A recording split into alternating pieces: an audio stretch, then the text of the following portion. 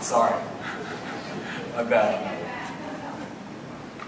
This, this group has a completely different experience. They come at the world with a completely different mindset. And they bring with them biases and behaviors and ways of thinking and looking at the world that are different. I don't fully get it, but Travis is going to help us understand it. So let's do it. Um, thank you guys so much for, for hosting me and for having me here. Uh, this is my first year at Red, so I've, I've never actually been here before. Um, and so my hat's off to Brad and Mike for putting, putting together just a fabulous conference. And, and for everybody here, you guys are the most welcoming people I've ever met, which is great because you're real estate agents, so you ought to be pretty friendly. So you're off to a good start. And uh, it, it's, it's cool because I met a lot of you guys online first and actually got to know you via Twitter and Facebook and everything like that. And then to come here and to get the chance to meet face to face is really what this is all about. It's really everything that we've been talking about here at RETSO. It's taking what we've been learning through these last couple days and applying it in ways where we can connect with people in, in, in just a method that we couldn't before. I never would have been able to get to know as many of you as I have prior to showing up here were it not for Twitter and Facebook. And so the, the content here, what they're covering, what they're talking about, is so critical, so important to the future of our businesses and to the future of this industry. And so what I really want to kind of talk to you about is, is we've got the technological force. We've got everything that we've been talking about with technology going. And I want to talk to you about the, the second of two major forces, technology being the first. The other is youth. Right now, there's a force of youth that are entering the marketplace, that are flooding the world. And what's happening is they're taking the tools of technology and they're revolutionizing how we work, how we live, how we act. Everything about what we do has been changing at such a rapid pace. And it's exhausting sometimes to try and keep up with it. And there's questions going around. What's the future? What's this, what's this all going to mean? And there's a lot of articles. Man, I read a lot of articles on millennials. And, and the big question, will millennials save the real estate industry? That's what everybody wants to know. Is this the generation that's going to save the real estate industry? Because let's be honest, it sucks right now. Nobody's sitting here going, you know, I just had the best year I've ever had. Unless you're a new real estate agent, then you probably did. But can only get better, right? You hope. Uh, that's, that's what we're going to talk about. So the, the question is, can they save it? And I'm here to tell you, no. This generation, the millennial generation, will not save the real estate industry. They're going to change the real estate industry. That is a key, key difference. Because saving implies that we're going to get back to what was in 1990, 2000s, the roaring 2000s, and everybody was just thrilled with how that went. And so when we talk about the saving of the real estate industry, everybody wants to get back to that. The problem is we never go back in time. We never revert back to anything. It's a constant progression forward. We've been learning that over the last two days. Everything is constantly in flux, constantly moving forward. So how do we as business owners prepare for that? So before I dive in, let me just tell you a little bit about myself my background. Jeff mentioned it briefly. I'm not in real estate, not a real estate agent, no real estate background, bought a couple houses, but other than that, no real estate background. And, and my background is really business and technology. Spent 12 years working in small startups, starting a few of them myself, and then going all the way up to Fortune 500 companies like Countrywide Home Loans. So minor experience in that. We won't talk about them because they're not exactly uh, the most loved company in the U.S. right now. And uh, but in that time, work inside technology, predominantly with millennials, starting all the way back in 1998, which is when we started to really kind of just enter the workforce. And there was this friction that I started to see between the younger generation and the generations that were in power within the organizations.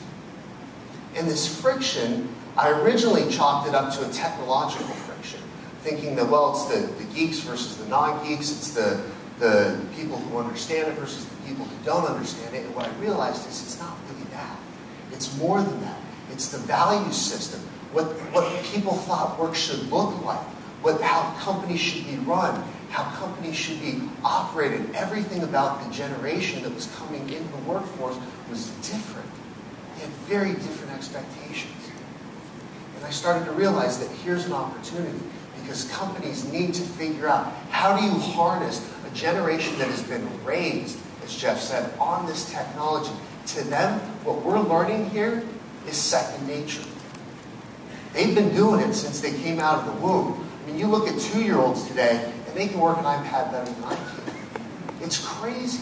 It's, it, it, this is a generation that, that gets this stuff in a way that we need to, as, as business owners, find a way to take the, the tools of technology and harness that and, and combine that with the youth and bring it into the organization and then, then take the wisdom and the experience of the older generations and apply that together with youth, youth and technology to a bright, bright future. And so what I want to talk to you about is how they're going to change the real estate industry. How they're going to use the tools that we've been talking about over the last two days to really change how real estate looks, how we act in it, and then I'm going to have a special section for brokers at the end. Because there's a lot in there for brokers. How many brokers do I have in the room? Oh, good, good. Hang tight. This is going to get good. So, I got to get some water. All right. So let's talk about who millennials are. Jeff mentioned 1977 to 1995. That's the date range. That means that this year, they're going to be turning between 16 and 34 years of age.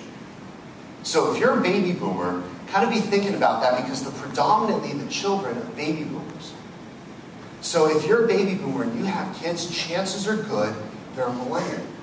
And so what I'm talking about is your kids. These are the, these are the people that you've raised, and these are the people that are flooding the marketplace. And so when we look at them, we go, okay, well, how big is this generation? What, what size are we talking about? Well, they're about 80 million strong. To put that in perspective, baby boomers are 78 million and shrinking. Sorry to say that, but mortality rates are, are starting to sink in, and it's a, it's, a, it's a dropping generation. So they're actually a bigger generation right now than the baby boomers.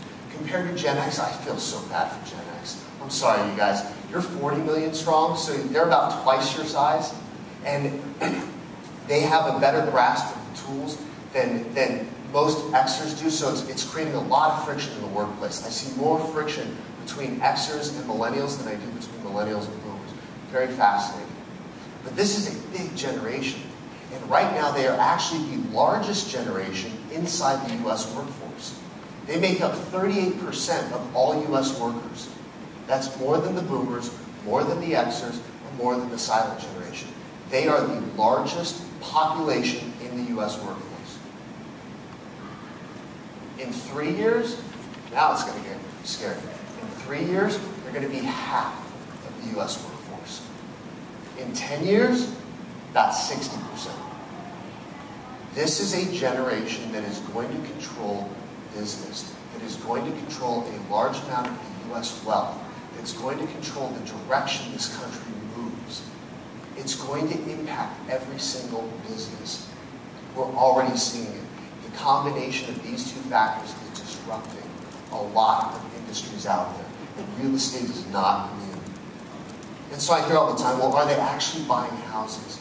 Sure, they're employed. And, and by the way, don't listen to the media reports. There are a lot of media reports about the laziness of this generation, about how this generation is not buying houses, how they're not making money, how they're not doing certain things. And like anything else, there's a fraction of truth in every news story, but the rest of it is, is crap.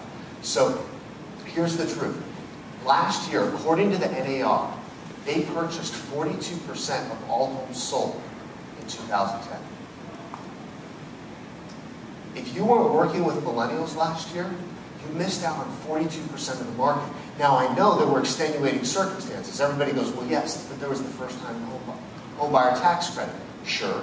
But are you going to turn away the leads just because they get a tax credit?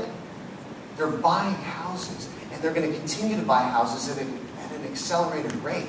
This generation is going to impact how real estate gets bought and sold. So how are they going to do that? What's, how are they going to change the marketplace? How are they going to change what real estate looks like, what builders start to build, and what homes start to, to become more desirable than other desire or than other properties? The first thing we have to do when we start talking about this is we have to examine the core values of this generation. How were they raised? What were they raised to believe? Because with this core value system, it dictates everything we believe is, is a direct is going to directly impact the decisions we make in our lives about where to live, where to work, uh, where we're going to, who we're going to marry, how many kids are we going to have. All these things are impacted by our value system. And there are four major trends, four trends that, that are impacted or that are impacting the decisions that this generation is making. Four ways that they were raised that are going to be, you're going to start seeing in bigger, bigger quantities how it's going to impact every industry. The first one, they have a, a, a huge desire for work-life balance. They are the children of baby boomers. Baby boomers are the hardest working, most successful generation in history. As measured monetarily, they are a very, very successful generation. Well, what did that mean to real estate? They bought big homes on big lots, in nice cars, in the suburbs. The urban sprawl started before the boomers. The boomers just made it really pretty. The boomers, they, they built huge houses on big lots. That's what they wanted. That was a symbol of, of their success. Their kids, though, are looking at that going, you know what? I don't know that I want to work 80, 90, 70, 60, 50 hours a week. That's a lot. That's a lot of working. I want a little bit more balance in my life. On top of that, they look at the houses and they go, those big houses we grew up in, we're really grateful for our life. We're really grateful for how we were raised. But they actually, in studies, contribute. The, the millennials look at the, the big houses they actually say they were a factor in the rise in uh, divorce among their parents. Because they said everybody in the family had the opportunity to isolate themselves inside the house. And so they look at it and go, I don't know that I want as big of a house. Partially because you have to pay more, you have to earn more, you have to work more. It takes more to upkeep. So they're looking at it and they're going, I want a little bit more balance, a little bit more of, of a give and take. Plus, life expectancy is so much longer. They're going to be living a lot longer. So they feel, why do I need to get it all done by 55 or 65? I can work a lot longer. I can balance it out. So work-life balance is huge. The next one, and by the way, a couple of these that I'm going to talk about have been politicized. Unfortunately, uh, and, and, I'm going to ask your, your uh, patience with me because I'm not making any political statements, and some of them are, are highly political topics. But it's important that we understand these trends because it is going to impact real estate. And so whether you agree or disagree, whether you're on the right or the left or the center, it doesn't matter. Just understand it and, and know that I'm not agreeing or disagreeing with anything. I'm just letting you know what's going on. Trend number two, multiculturalism. This generation was uh, raised with forced busing. They were raised to be around people of different backgrounds, different races, different socioeconomic statuses. They were raised to be tolerant, to be open-minded to everybody's belief system and their ideals and how they choose to live their life. Part of what that created is this desire for being in an eclectic environment. They don't like hanging out with everybody that looks, feels, and acts and thinks the same way they do. They like the change. They like being in, in a group of people that are different from them. It's a, it's a very interesting thing.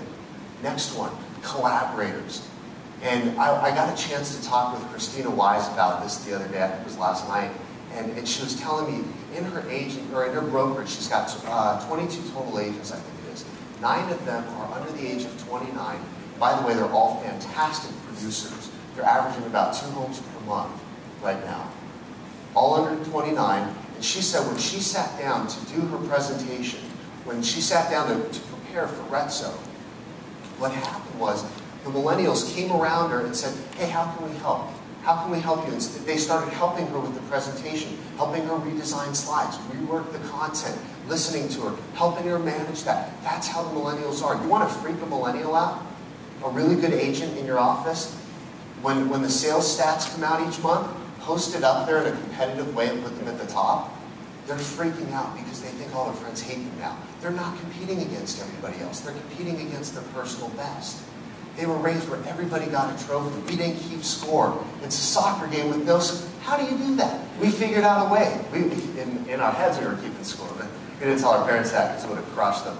So, but, but this is a generation where if you finish dead last, your parents are like, we're so proud of you. You're our champion swimmer. Look at the trophy you got. We'll put it on the shelf. And so we have trophies for 26th place. It's terrible.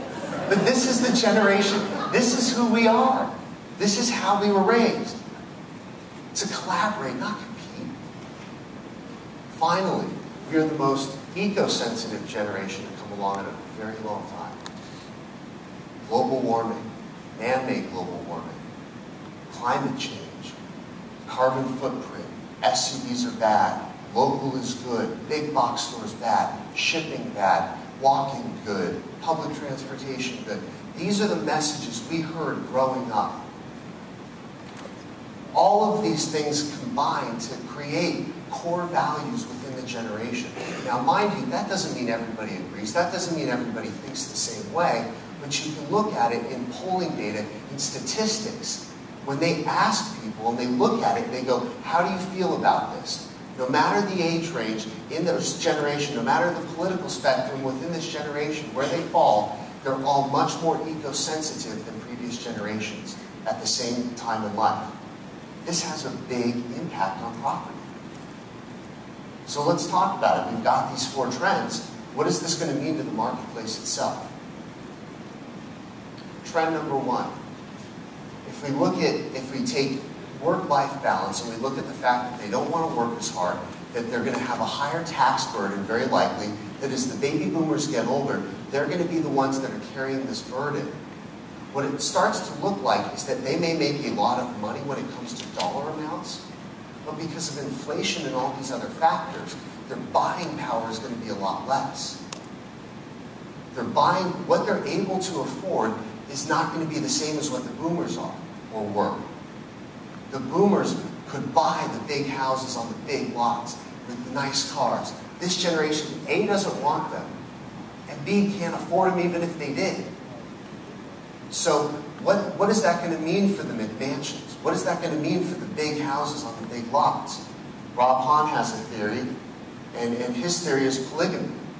He's thinking, I tried to say it with a straight face, I couldn't. He was actually running around last night going, it's all about polygamy.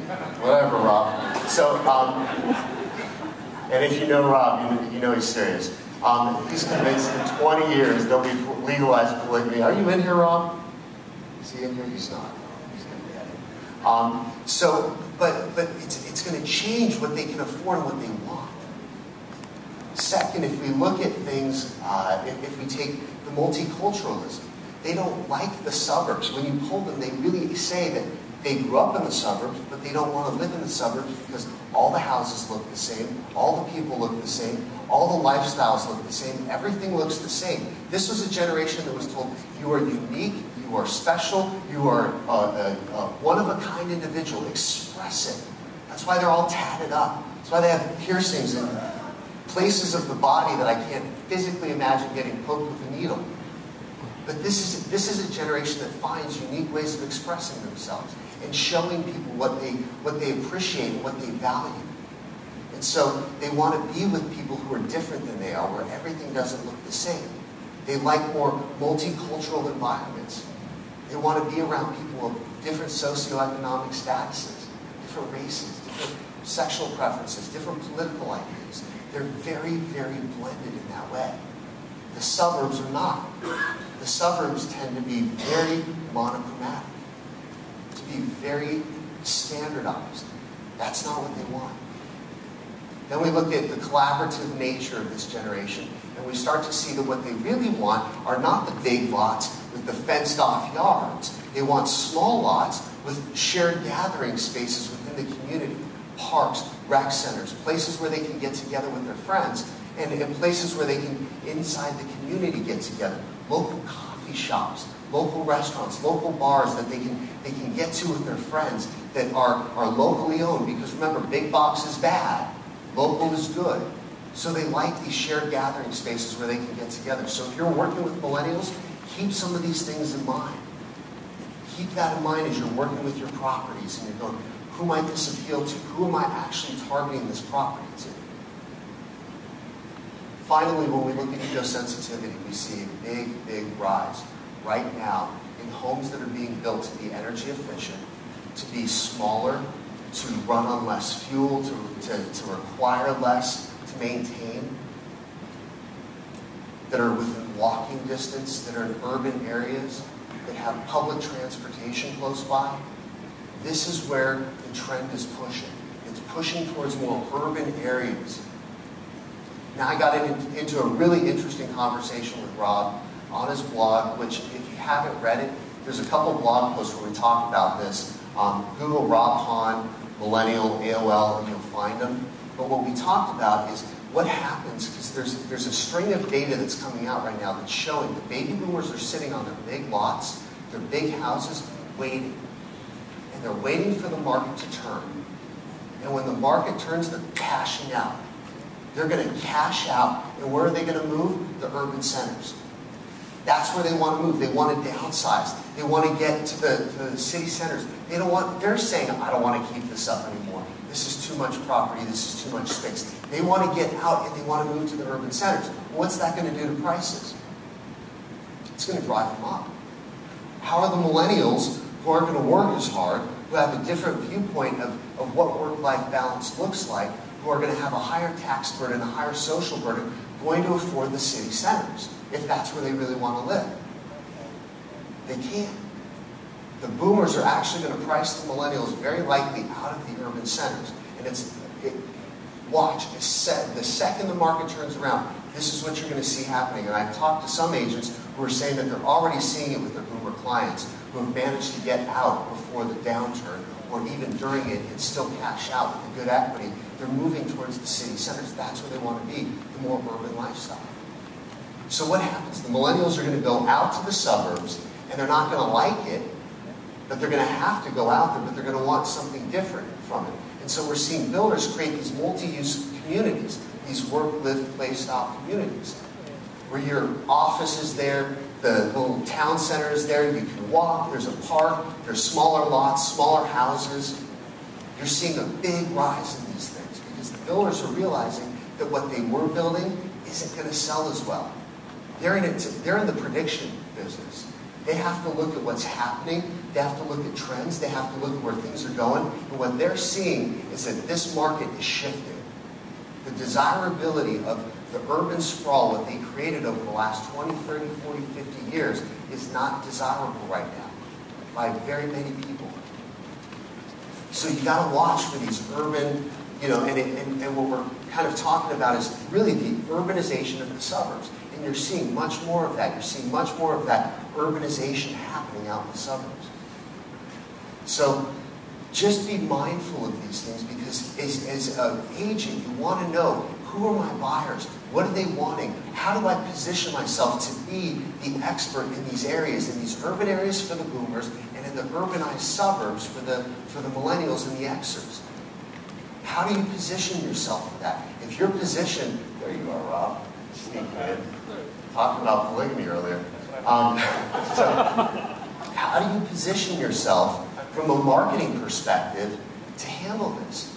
Because if you're positioned as the McMansion expert, moving forward, you're going to have a very hard time getting new buyers and new sellers.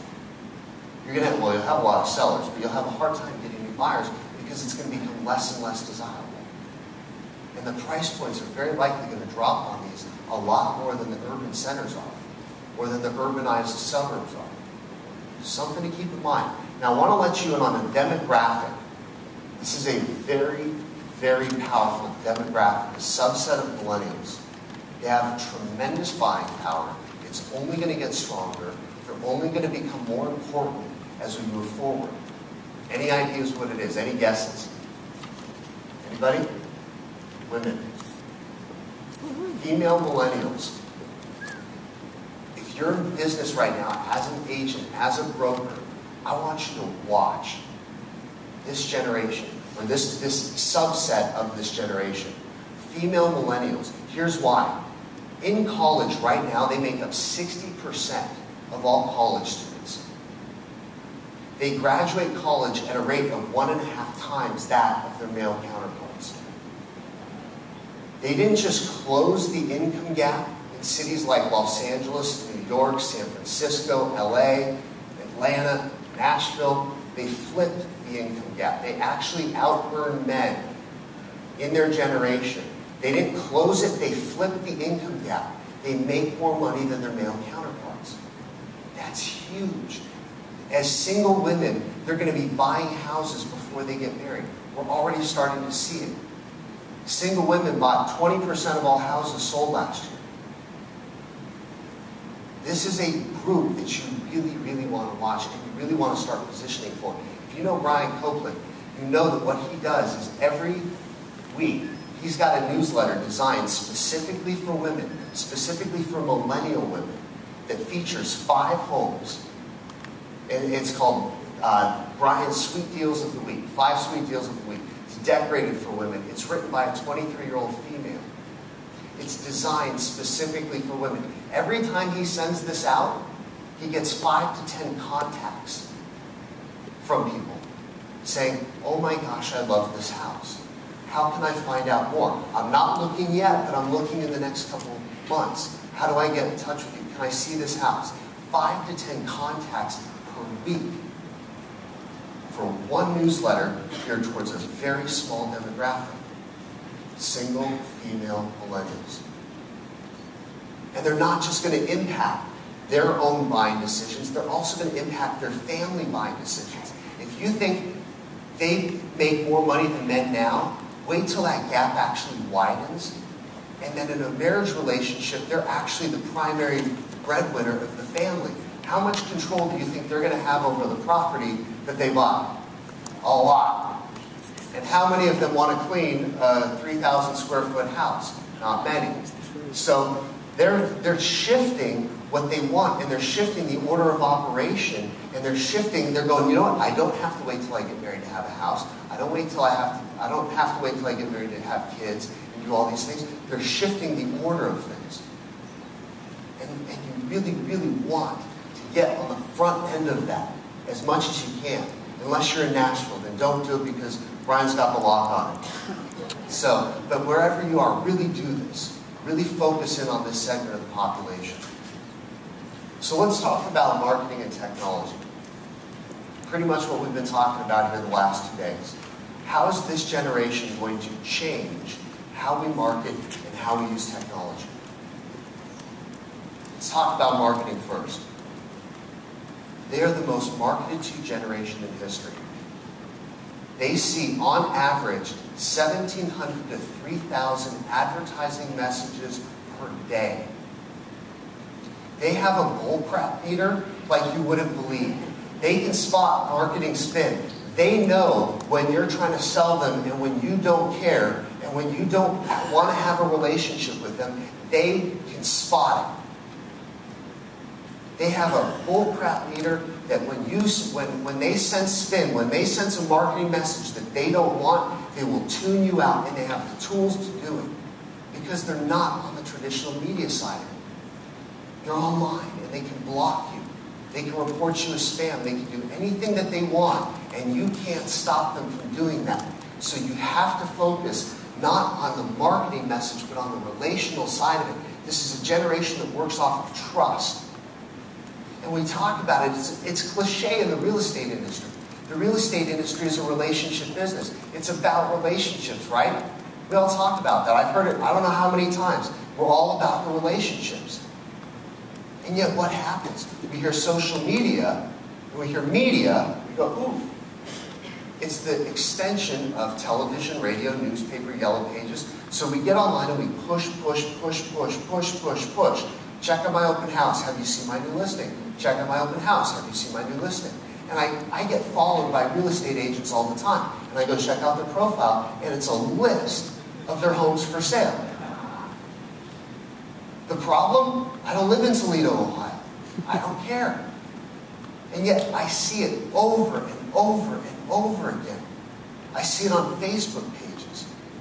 And So I've got two words. If you do that, and by the way, I know for a fact, because I've been trying to connect with people before I got here, there are real estate agents here that do that because I've, I've been trying to connect with people before I got here. And I saw them, shocked. So if you do that, if you post your real estate listings on your Facebook page or your Twitter page, I have two words for you. Stop it. Don't do it. Because we will tune you out. Thank you. I'm, I'm serious. We will tune you out. We see that, we're gone. We're not, that's not engagement. That's not helping anybody. And then people go, well, social media doesn't work. Of course not. Not when that's what you're doing. We don't need another newspaper. We don't need another marketing message. We see too many as it is.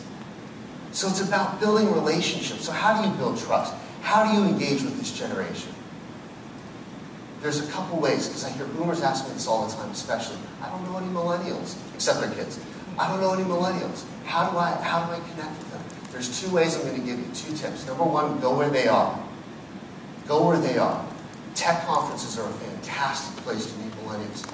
Uh, local marketplaces, use meetup.com. It's a spectacular site to find shared interest groups.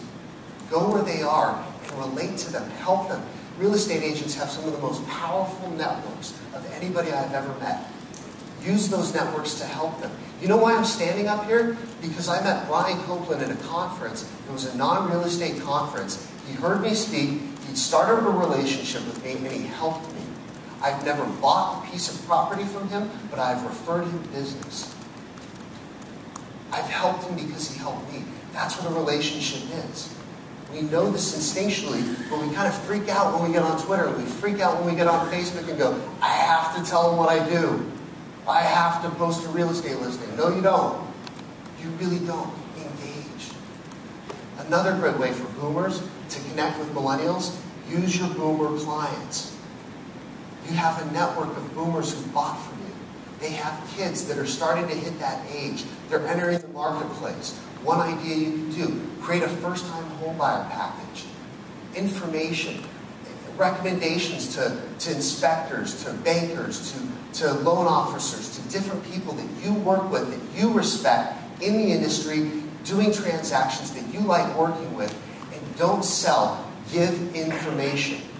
Tell them, what does it look like to buy a home? What can you expect? What do you need to watch out for? How can you prepare your family, your finances for the loan approval process? Give them information because nobody else is. Everybody's trying to market to them. And educate them, inform them. Give that to the parents, and then when the parents turn around and hand it to the kids, you've done something because millennials trust their parents more than any other group.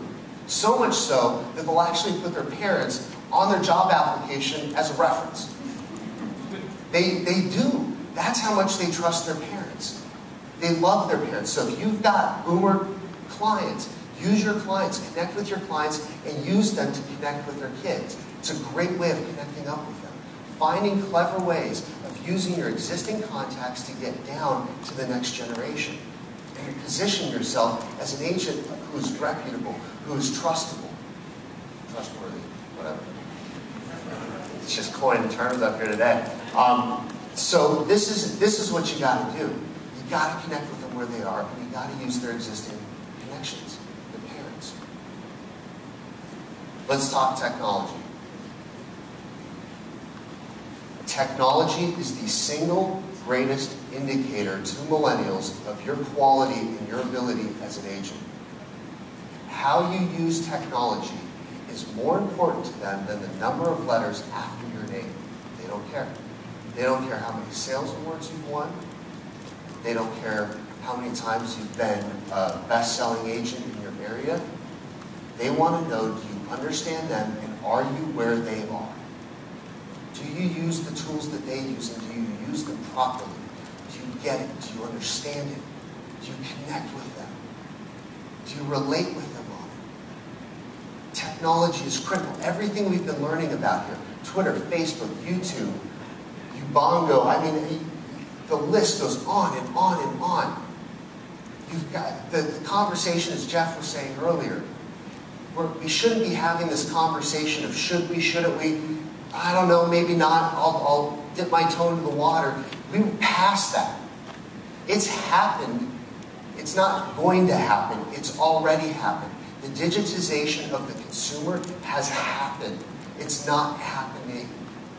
You can't wait on these things any longer. You've got to dive in. You've got to experiment. You've got to play, as Jeff said. Have fun with it. Figure out ways of just engaging your audience using these tools and be where they are. Zillow, Trulia, City Data, engaging. And by the way, every time I say Zillow at a real estate conference, somebody comes up to me afterwards and complains about Zillow. And they say, but have you seen the comments? Everybody rips apart agents in the comments section. You know why? They say now is a great time to buy. When isn't it a good time to buy? That's what people want to know because that's marketing spin. It's only a good time to buy at the individual level. Zillow is 30% bigger than Trulia. It gets 30% more traffic than Trulia, and Trulia is where everybody wants to hang out. You go where the people are, and you shine like a diamond amidst the crowd. Because there's going to be an argument, there's going to be arguments going on, there's going to be debates in every comment system. Avoid it, and just find ways of connecting with the people who have legitimate questions Answer them honestly. Engage with them. Give them real information.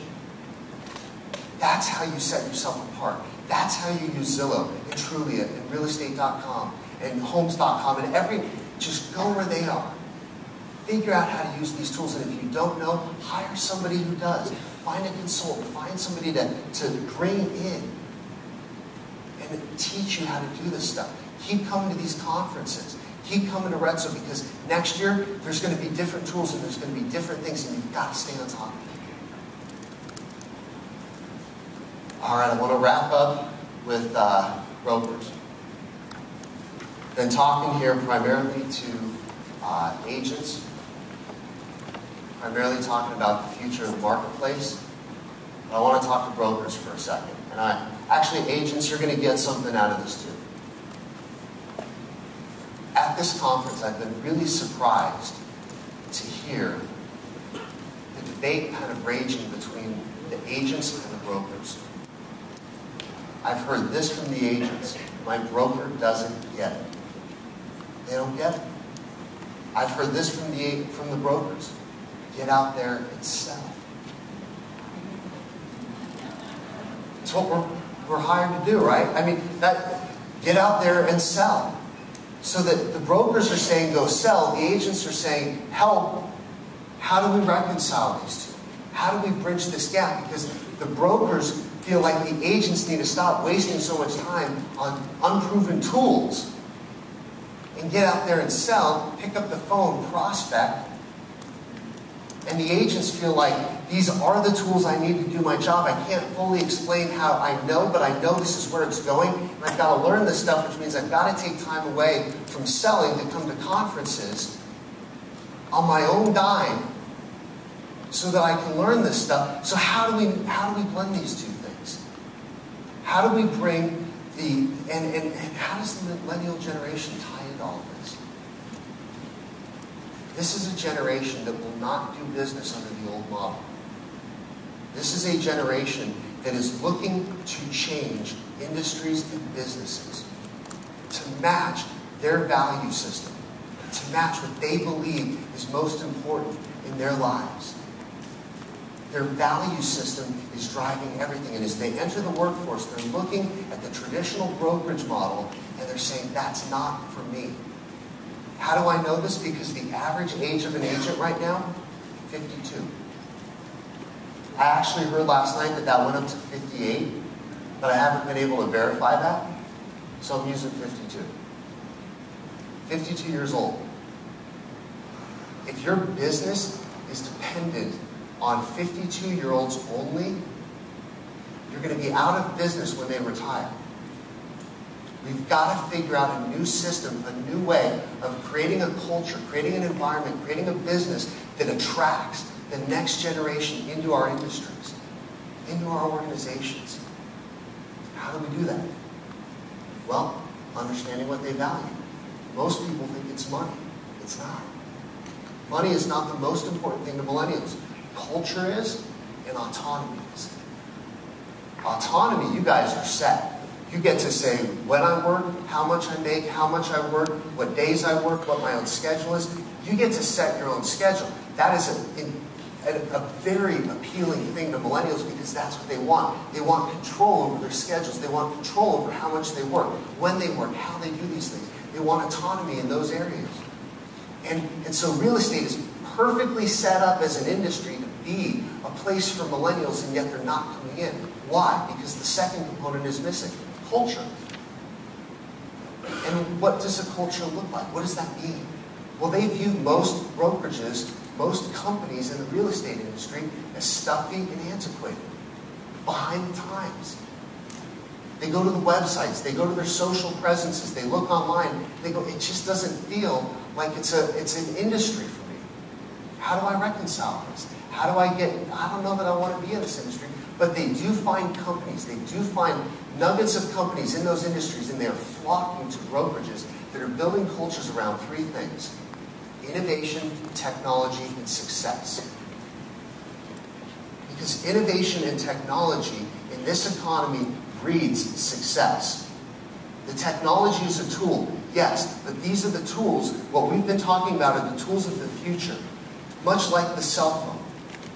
When the cell phone came out, agents realized that this is where things were going. This is the next thing. Smartphones were the next thing after that. You know, it's constantly evolving. It's constantly moving. And so brokerages, here's what I would challenge you to do. Lead the innovation and the change. Lead the charge on this stuff. Don't wait for your agents to do it. Find ways to work with them, to support them, to coach them, to mentor them, to bring them along. And if it's a millennial, Coaching is huge. Mentorship is huge. They were raised with coaches. They were raised to, to have that constant feedback loop. They want that. They want to be taught, but not taught necessarily the, the specifics of the tools. They want to know, how do I negotiate? I don't know how to negotiate. They've not been taught that. And yet they, they're sent to a few classes and then they're told, go out and sell. But education in this environment is a continuing process. It's constant evolution. It's, it, and as a broker, it's leading that change within your organization. Fascinating conversation with Christina Wise. This is somebody that if you're a broker, I encourage you to connect up with her. Talk with her. Find out what she's doing because she is taking some of the best people of this generation and she is applying them with technology to making a huge success of her business, and it's continuing to grow in a down economy, in a down market. And I've heard it won't scale. It won't scale, and it will scale. It will scale. Caring about people will scale. Zappos proved that. It was bought for over a billion dollars, and what they did is they cared about their employees first. And this is the other thing. If you're if you lead a company, if you run a company, your primary client is not the person buying your product. It's your employee, it's your agent. Most brokers do not have as much interaction with the client, with the home buyer and the home seller, as the agents do. Invest into the agents, and when you invest into the agents and you see them as your client, how can you serve them? How can you help them? How can you ensure their success? They're going to go out on the front lines and they're going to service your community, your client base better than you could possibly imagine. You invest inward in the company and you send your team out. This is what's coming. This is what the millennial generation is bringing into the industry. They're bringing disruption. They're changing the way industries and businesses work. They're disrupting industries and they're doing three things. They're building new companies, they're helping companies pivot to adapt, or they're destroying companies. Not intentionally, but because what they do is they go in and they bring about change. They bring about innovation, and they go to the organizations that are doing that. They find those companies or they build those companies, and that's where they go. We've seen it happen in industry after industry. Tower Records, Blockbuster Video, gone. Newsweek sold for a buck. Newsweek sold for a dollar. This is incredible stuff that we're talking about. This, they are changing industry after industry, it's not going to stop. Real estate is not immune from this. Most of the innovation in real estate is actually coming from third-party vendors, not from within the brokerages, not from within the community. That's got to change. Lead the innovation from within. All right, let me wrap up, and then we're just going to take some questions if we have some time. Um, want to leave you with this one thought.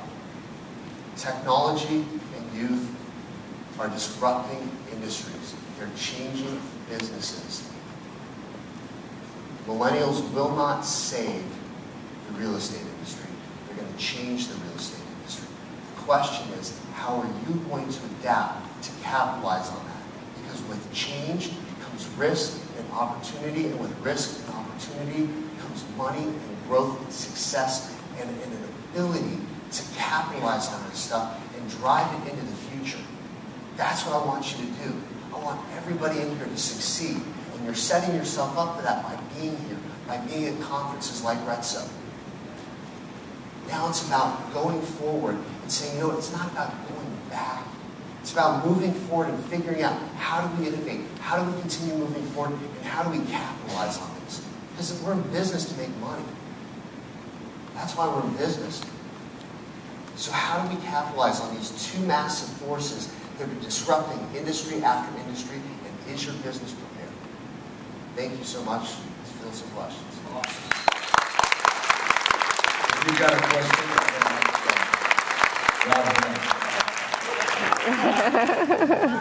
Why am I not surprised?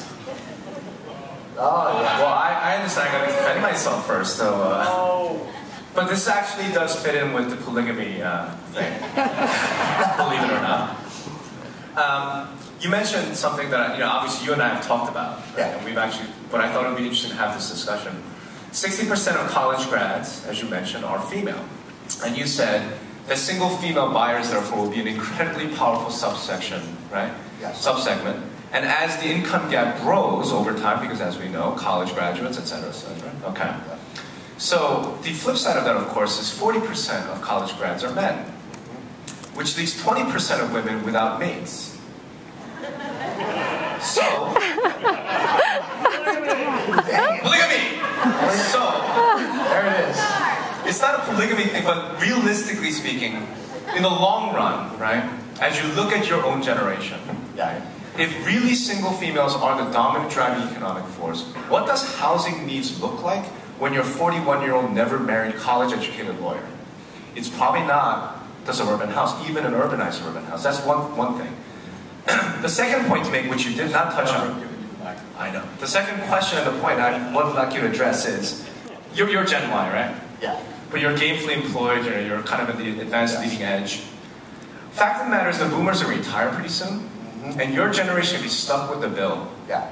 right? Medicare, Social Security, all these government programs. You guys are probably the lost generation unless we see some major economic upheaval. You're probably looking at something closer to 65, 70% total tax burdens on your, on your income. How do you imagine your generation is going to be able to afford houses going on in the future? Could you keep your answer to less than 30 seconds? Yeah, absolutely. Good question. Simple supply and demand. There's a there's a huge dearth of houses, or excuse me, a huge wealth of houses out there. The housing values are going to have to come down to match the supply, or the demand, excuse me. So it's if if what Rob said is true, and I'm not sure I necessarily buy into everything that he's, I, I don't necessarily agree with everything, but if he's right, if that does in fact happen, all home prices across the board are going to have to come down because the demand is not going to be high enough to, to buy up all the supply. It's just not. It's a simple supply and demand problem. It's going to bring housing prices way down if he's right. Here we go. Hi, that was great. Thank you. Um, how do the millennials feel about working with old lady Barbara, realtor? Assuming I can manage my phone and a few things like that. Actually, I, here's, here's the truth. They trust boomers more than any other generation. Because their parents are boomers. So it, it's a huge opportunity within organizations. And it's something that I encourage organizations to do is find bi-directional mentoring opportunities. Let the youth help the boomers with technology and let the boomers come in and help the millennials with some of the soft skills, like negotiating, managing the client after the sale, things that they're not going to learn on Google. But if they can Google it, they're going, well, why, why are you going to teach me something I can just Google? But you can't Google negotiation techniques. You can, but it's not going to work. You can't Google certain things. So find those unique opportunities for bi-directional mentoring. Great question. I, I have to say that this is probably going to make me feel older than I have ever felt in my entire life. But, um, and I'm not going to hijack anybody's uh, any of your time. But the two questions. So first of all, if the millennials BS meter is so high, mm-hmm. is it not going off all the time because they're talking so much BS about feeling economic, you know, on eco-sensitive, whatever. Yet this is the same generation that drives two freaking blocks to go to a gosh darn Starbucks. Nice. You know, I like work-life balance and things like that and want to save the rainforest, but tweeting about it and going to freaking Brazil and standing in front of a tractor are two different freaking things. So I, I just, if you have any insight, actually put a tweet out. It's like, do you have any like points or any statistics that say, hey, we're really caring about the Earth and ozone and everything like that? Well, you know, we want work balance and want to be able to watch American Idol on our laptops. So if you have any stats with that, that's that's fantastic. Secondly, it's like with what is the actual? Because I mean, we have our NAR stats and things like that. What is the millennial feeling about home ownership right now? You know, let me tackle that because I actually have some stats to back that up. Um, and the, the other one, there are stats that talk about work-life balance and all those. I don't have them memorized, so I don't, I don't want to misquote them. Um, but if you want, email me, travis at travisrobertson.com, and I'll track them down. I've got them in Evernote. So you heard about Evernote, use it like crazy. Um, and, and I've got a lot of this in there. So to, to go to your point, though, about their, their perception of uh, real estate, they actually uh, test. Right now, there was a recent poll that was done by Trulia. I think it came out in January or February. Um, and, and, Trulia was polling uh, to figure out what is the perception of the future of real estate among the different generations. Millennials actually tested the most optimistic about the future of the, of the real estate industry and the ability to use it to build wealth. They're actually very optimistic about it. And, and again, ability to buy it is a whole different thing than their ability to want it. And, and so there is that difference, but they, from, from a, a desirability standpoint, they really do want to be in real estate and they view it as part of the American dream. It's just looking different as part of that American dream. So, great. And I think, by the way, I think it was about 68%, don't quote me on that, but I'm almost positive it was 68% are optimistic about the future of real estate, and that was higher than any other generation. You mentioned the, uh, the broker needs to bring the millennials into the real estate business, but they don't like the old model. Yes. How does he do that, or she do that, when you have the boomers that like the recognition, that like the, the, the awards, that like their picture in the paper because they have the most listings, and so they, they've got like two cultures. How do they blend those and not, you know? Great question. We're going to make a lot of enemies with this. So here's, here's the truth. Okay. The boomers are not the future of the industry. They're going to win, if for no other reason, millennials are going to win out in the what do we want war for no other reason than attrition.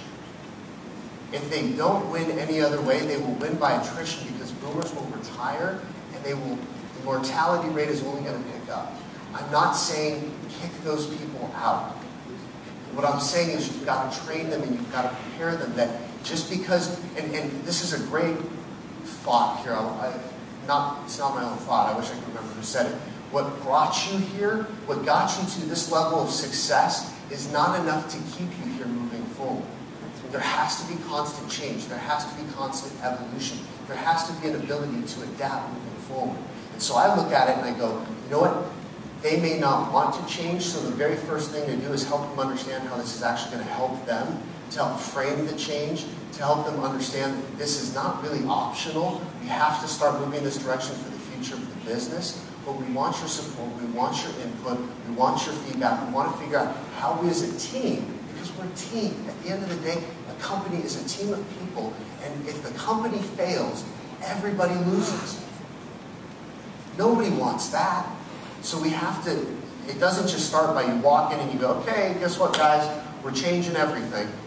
It's a, it's a, it's a process of educating and informing and helping them understand why and helping them actually understand that in the future, this is actually going to be more beneficial for them if they hang around.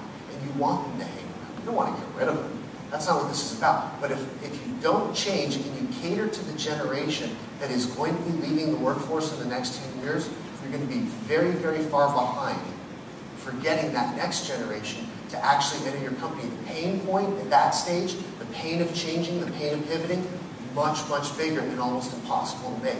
Borders waited way too long, and I nearly cried. I love books. I love Borders. Borders waited way too long to try and take on Amazon, and they couldn't do it. They waited way too long, and they actually gave Amazon their fulfillment, their online fulfillment. They said, "Here, Amazon, take it. It's really not that important. It's not going to be that big."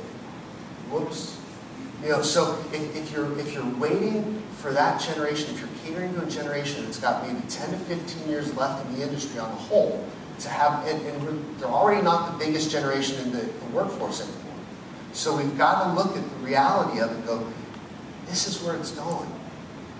This isn't about right versus wrong, but it is a change that's happening, and we've got to figure out how do we manage that change in a way that allows for the survival of our businesses. Because I will guarantee you, like every other industry, in three, five, or ten years, some of the stalwarts in the real estate industry will not be around for five to ten years. It's just not going to be that way.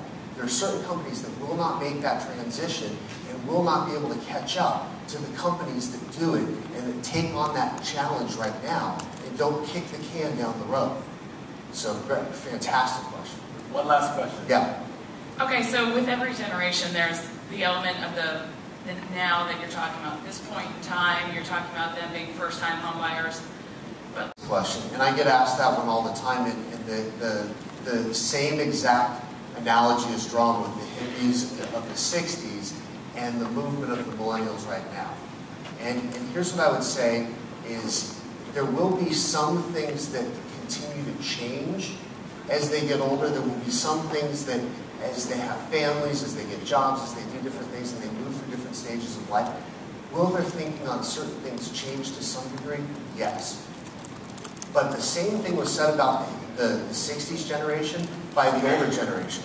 Once they grow up, they'll change out of it. They're, they're, they're going to be much more traditional. We actually saw that didn't happen. They are very, very much, boomers are not like their parents at all on a lot of levels.